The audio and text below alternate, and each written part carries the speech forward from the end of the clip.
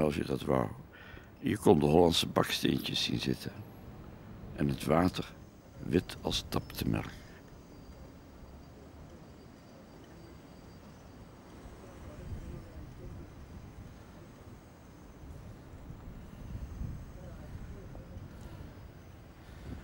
Dit is de Hollandse brug. En het is natuurlijk heel mooi en goed dat er hier een Hollandse brug zou zijn, maar in feite is die helemaal niet Hollands. Gebouwd door een Toyosaki in 1702. En van die Toyosaki wordt gezegd dat hij de techniek van het bruggenbouwen van de Hollanders had geleerd omdat hij had deelgenomen aan de bouw van de Nederlandse factorij. Maar als je nagaat dat die in 1609 gebouwd is, dan zou die man over de 100 hebben moeten zijn om er de hand in te hebben gehad. Dus ik denk dat dat een, ook een latere legende is. In 1639 moesten alle vrouwen en kinderen van Hollanders uit Japan weg. Ze gingen naar Nederlands-Indië. Zelfs brieven schrijven was verboden. Maar het gebeurde toch, clandestien. Ach, die brief, die kwam uit Batavia, ons Batavia. Dat is nog zo dichtbij. Over de zee. De zee van tranen.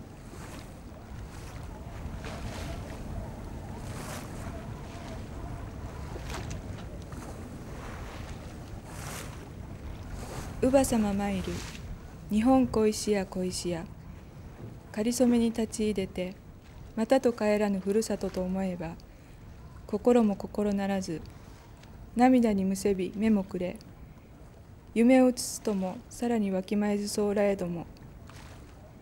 あまりのことに茶包み一つ信じ上げ候あら日本小石屋小石屋小石屋小そろ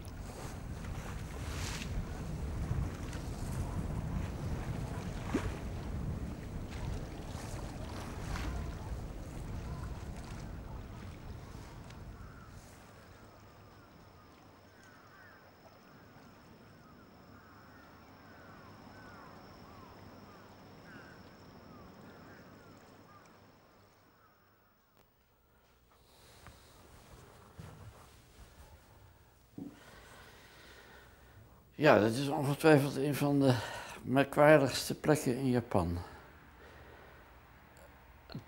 Toen ik hier uh, in 1972 kwam, schreef ik in mijn dagboek uh, dat het een van de merkwaardigste belevenissen was die ik ooit gehad had. En uh, dat is het nu nog, het is nu eigenlijk nog vreemder geworden, omdat het nog bestaat. En iets blijkt te zijn waar eigenlijk geen touw aan vast te knopen is. Dus hier voor me ligt een, uh, een uitstalling van erotische prenten. Uh, vaak van een beestachtige directheid. Uh, betrekkelijk slecht gecompenseerd door strookjes plakband op strategisch plaatsen. Maar die plakband is dan weer doorzichtig. En dat doorzichtige plakband, zou je kunnen zeggen, is de essentie van de Japanse cultuur tegenover dit soort activiteiten.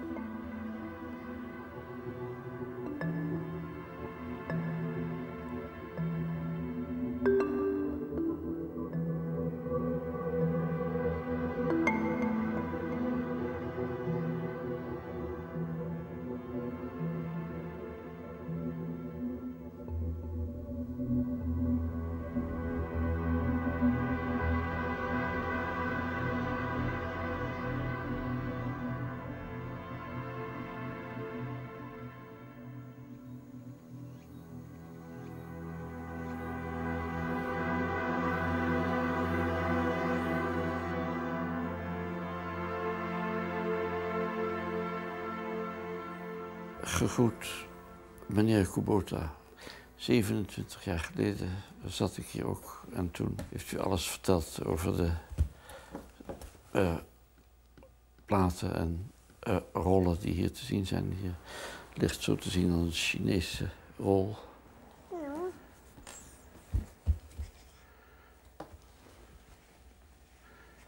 Of door. 300 jaar oud en er wordt hier ook fluit bij gespeeld, wat een uh, interessante mogelijkheid is. 笛を吹いてますこちらは、こちらは水浴びをしてますで子供が覗いてます ja iemand kijkt door, door het raam こちらの絵が完成5年ということで今から200年ほど前のものになります、うん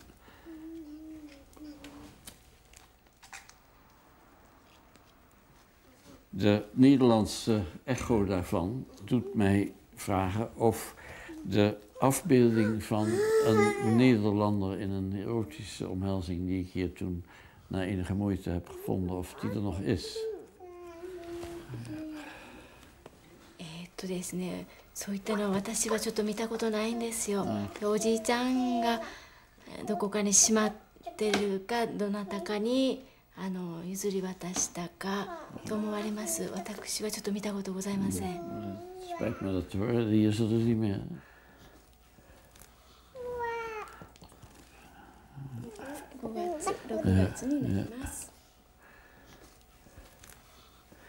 Ja, het zijn de maanden van het jaar, heb ik uh, begrepen. Hè? Dat, uh, dit, uh, is dan juni?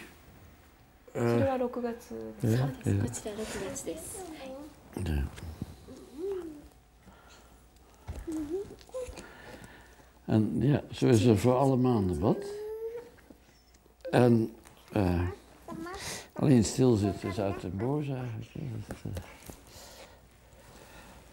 een goed jaar.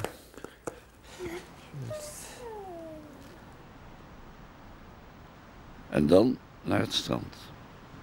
Waar je ook bent in Japan, nooit ver uit de buurt. Sous les pavés, la plage.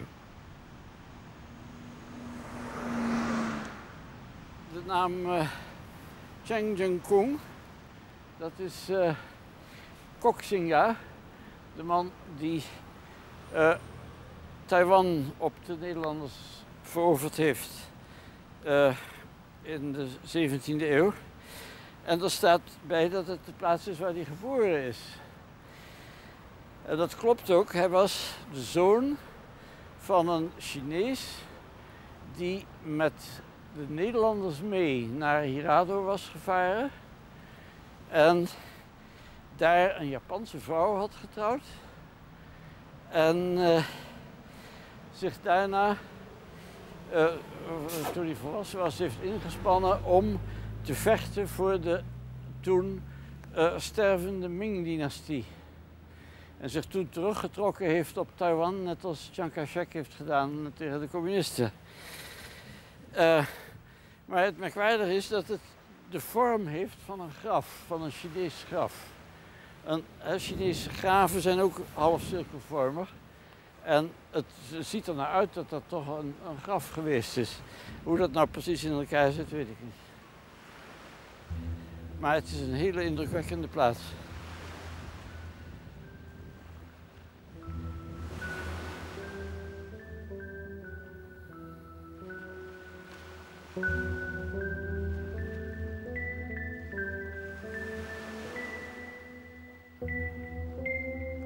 Daar komen de draagstoelen. Nu kan de reis beginnen.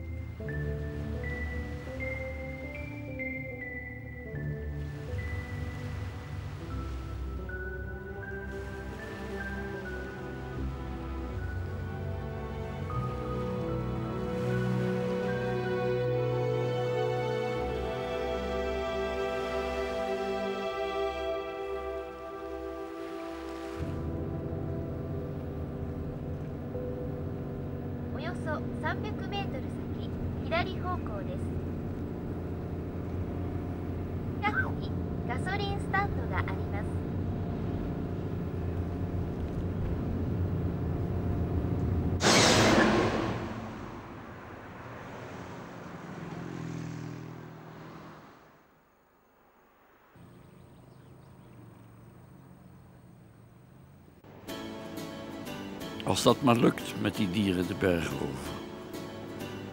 De goedige olifant heeft de hofreis volbracht. En de hooghartige kamelen. En de honden met krulstaarten. En de nuffige struisvogels. En de arme Cassuaris, die door het hof werd geweigerd. Met de opmerking dat hij wel veel vrat, maar niets kon.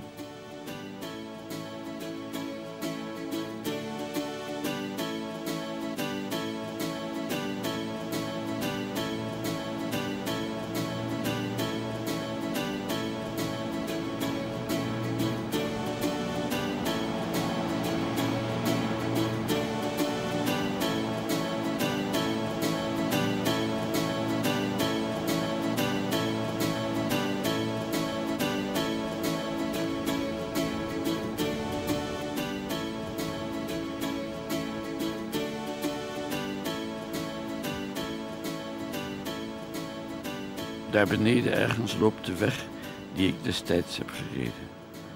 De snelweg was er toen nog niet. Ik was op zoek naar de grote kamferboom van Odda. Met het tempeltje dat in die boom was gebouwd. Voor Bato Kanon, de godin der barmhartigheid met een paardenkop.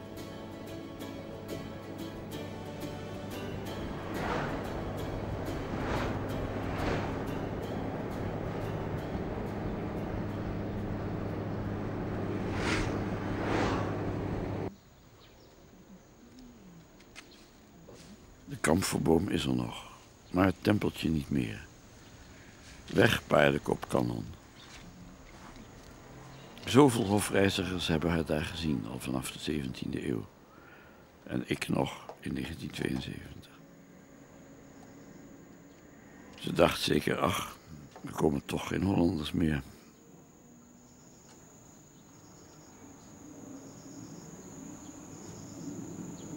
Nou, alles is totaal veranderd. Dat, eh,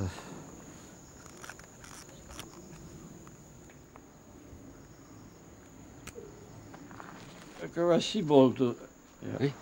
Ja, eh, あのこれが風で aha. 傾 Oh, いて、 het is door, door de wind om, eh, omgewaaid. でこれから Aha. この辺まで Ja, zo dat is dat. Ja, ja, ja. Dit was een reusachtige boom. En het, het was er bijna nacht onder. Eh, zo donker. En nu is alleen nog een stuk stam over. En van wat er binnenin was, is niks meer te zien. Er zat, hier zat een tempeltje ingebouwd. En dat tempeltje stond op een stenen voetstuk. Het was dus oorspronkelijk een holle kamferboom.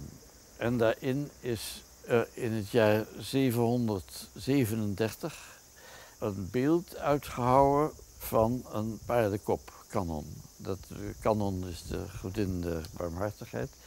Met de paardenkop mag je aannemen dat ze zich speciaal interesseerde voor het lot van eh, dieren. En je moet je dus voorstellen dat die, die boom in 737, in het jaar 737, dat die al zo groot was dat je er een kop in kon uithouden. Dus die boom, ja, die moet van voor Christus dateren. En dat is hier gezien door de meeste Nederlanders die de hofreis maakten. In 1691 door Engelbert Kempfer, die het goed beschreven heeft, maar die de paardenkop voor een kalfskop aanzag. Eh, daarna was eh Thunberg hier eh, in, 16, in 1776 en eh, Kok, eh, Kok Blomhoff in 1818 en eh Siebold in 1826. En ikzelf in 1972. En in die tussentijd, denk ik, is er niet één Nederlander hier geweest. Ik was dus de eerste Nederlander die daar weer eh, na 120 jaar hier kwam kijken.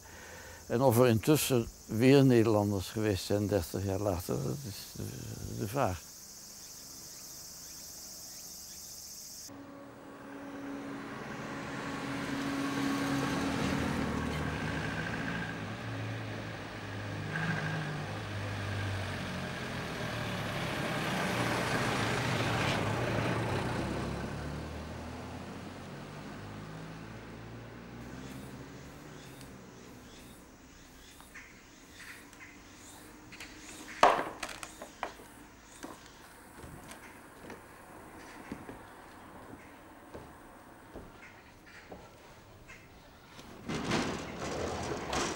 De hofreizigers werd vaak in tempels overnacht. Dit is de Jokoji, de tempel van het reine licht. Ruim 300 jaar oud. Tot voor kort kon er nog geslapen worden. Meestal waren er erotische avonturen verbonden aan zulke overnachtingen.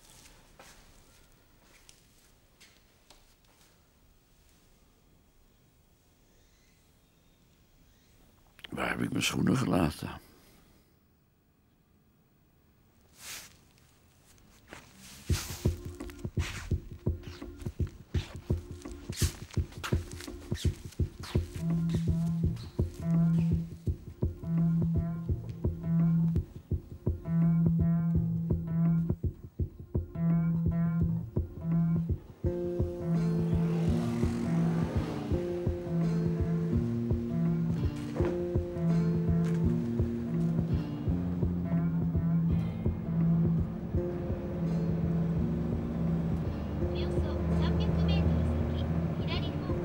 Daar is de tijdmachine weer.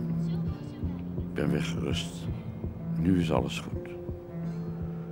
Het wordt trouwens bedtijd.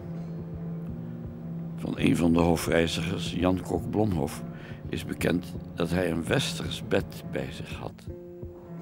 Maar dat was geen regel. Jammer dat er niet meer in tempels kan worden overnacht.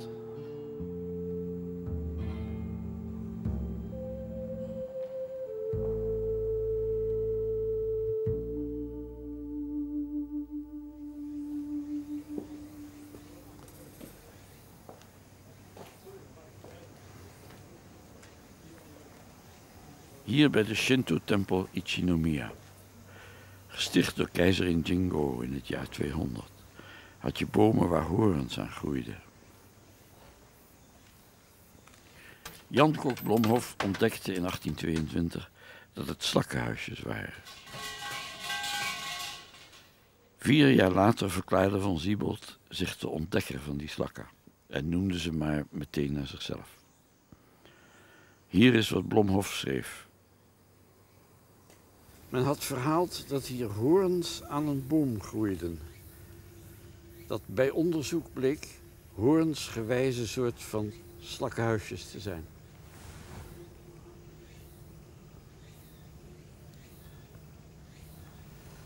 En vier jaar later werden ze ontdekt door uh, Frans van Siebold, die uh, ze meteen zijn eigen naam gaf. Dus de Siebold Schnecke.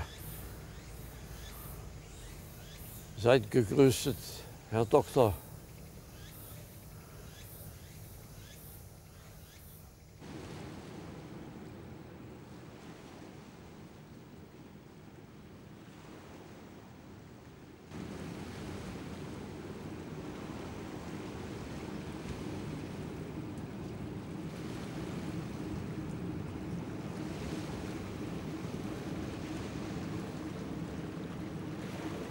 Hofdames van de Heike wasten 800 jaar geleden hun kleren in een riviertje genaamd Mimosusogawa. Deze hofdames prostitueerden zich om de zevenjarige keizer Antoku te kunnen onderhouden. Het was voor een goed doel, maar vergeefs. In het jaar 1185 werden de Heike hier bij Danno-Ura verslagen en de kleine keizer Antoku verdronk met al zijn hofdames.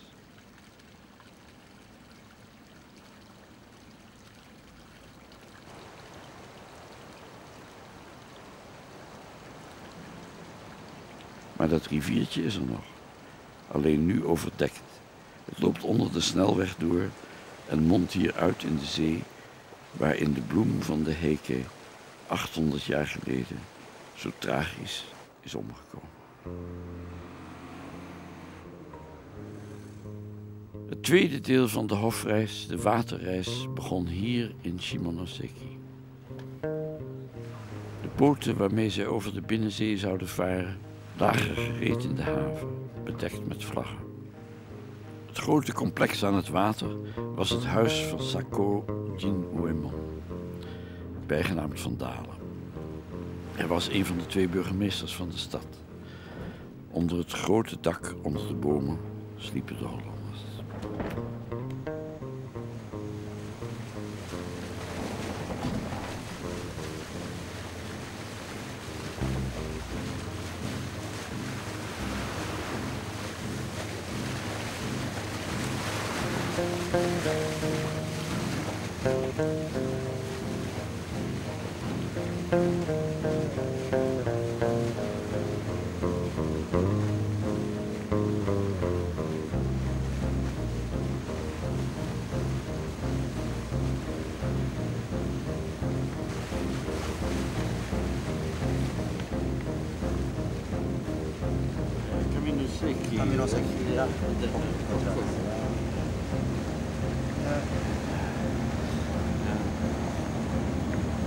平軍、 Ja.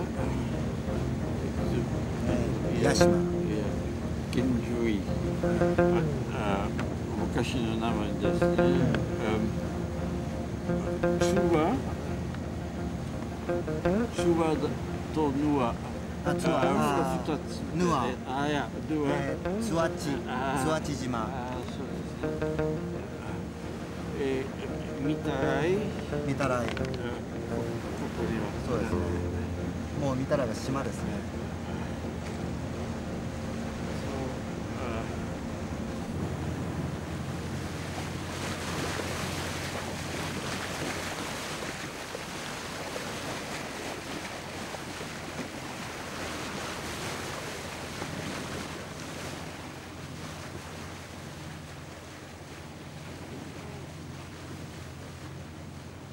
Gedicht uit de Manyoshu. Hoewel ik kijk en kijk, ik krijg niet genoeg van het water van Yoshino. Ik zou steeds terug willen komen en er eindeloos naar kijken.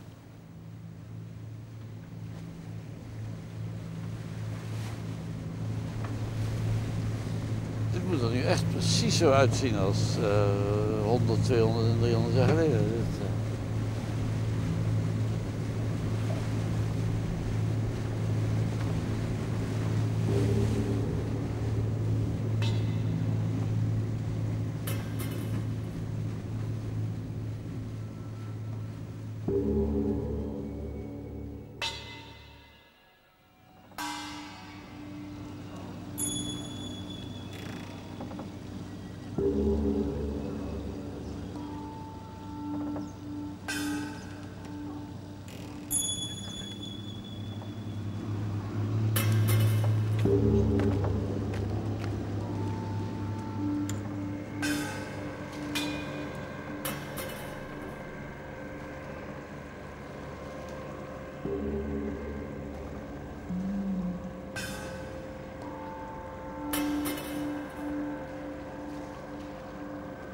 Hoewel ik het zelfs niet verwachtte in een droom. De eilanden die tot dusver golden als ver weg, nu dichtbij, als in een voorspelling.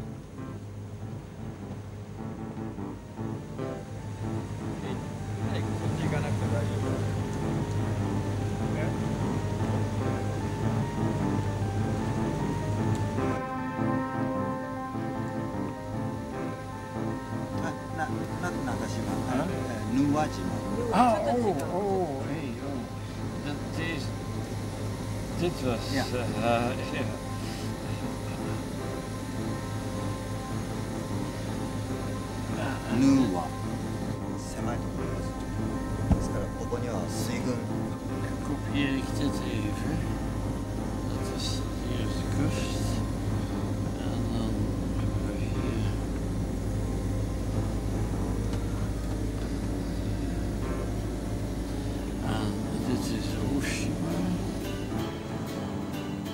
merkwaardige is de 17e en de 18e eeuw. In Europa is dat helemaal niet zo lang geleden. Er is daar zoveel dat er nog precies zo uitziet en precies zo heet als 300 jaar terug. Maar hier heeft het iets van een wonder. Alsof iemand geprobeerd had om het uit te wissen en het daaraan ontsnapt was.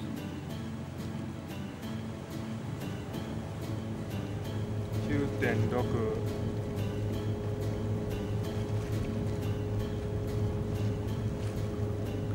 9.4 9.1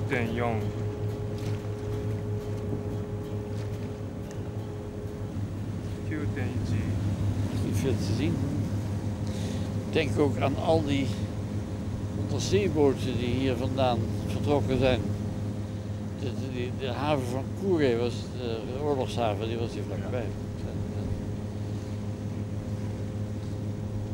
Dat Denk- is hier veel gebeurd. Hè, ja, zijn, die, kwamen hier, vandaan. Dus, eh, ook dat grote slagschip eh Ja, ja, ja. eh, Yamato, dat... eh. Maar ik bedoel, je kijkt dan op een curve of je niet een periscoop ziet hier of daar. Dat, je weet wel, die, die, die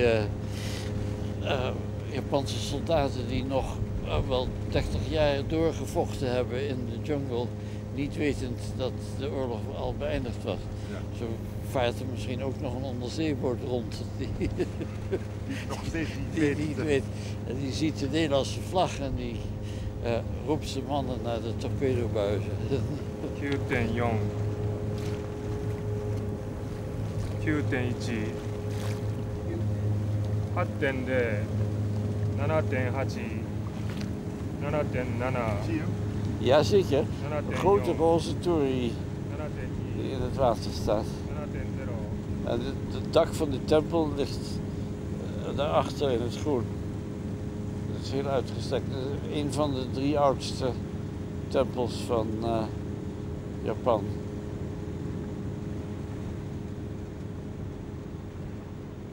De grote krijgsheer Toyotomi Hideyoshi bouwde hier de Senjokaku, de hal der duizend matten, in 1587. Het was zijn bijdrage aan een van de oudste Shinto-tempels, op het eiland Miyajima, waar geen mensen mogen sterven of geboren worden en geen dieren mogen worden gedood. Ach, die. eh, Oh ja. Ja, hoeveel hoorns heb je op je kop? Nog geen enkele. Komt nog wel. Ach, en niets heb ik voor jou te eten.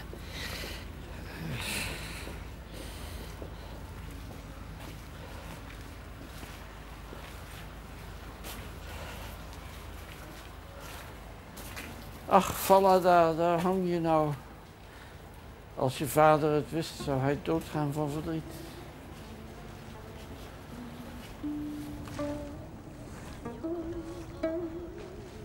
Deze beroemde in het water staande torii zou na onze passage door de tyfoon nummer 17 worden omvergeplaatst.